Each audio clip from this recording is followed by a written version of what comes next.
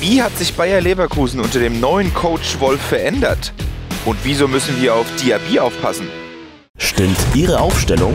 Jetzt Ihre Finanzen checken. deutschebank.de slash Finanzcheck.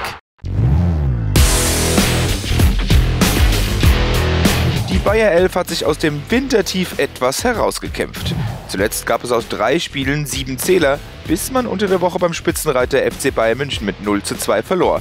Das war gleichbedeutend auch die erste Pleite unter dem neuen Trainer Hannes Wolf.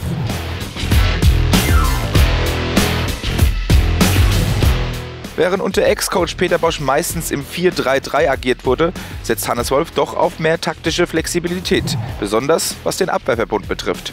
Dadurch haben die Rheinländer wieder etwas mehr an Stabilität gewonnen.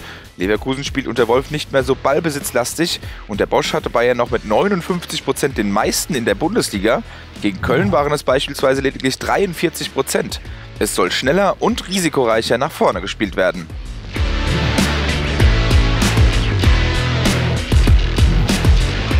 Moussa Diaby ist eine gefährliche Waffe bei Leverkusen.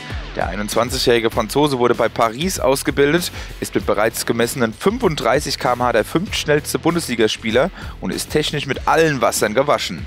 Nicht umsonst hat der Linksfuß schon 10 Tore vorbereitet und 4 weitere erzielt. Diaby spielt unter Wolf sowohl offensiv rechts als auch alleine auf der rechten Seite aller Philipp Kostic.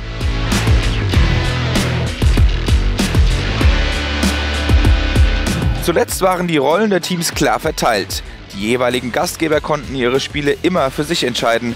Im Hinspiel triumphierte die SGE mit 2 zu 1, während wir im Pokal in Leverkusen verloren. Also wird mal wieder Zeit, auch im Rheinland was zu holen. Eintracht, alle!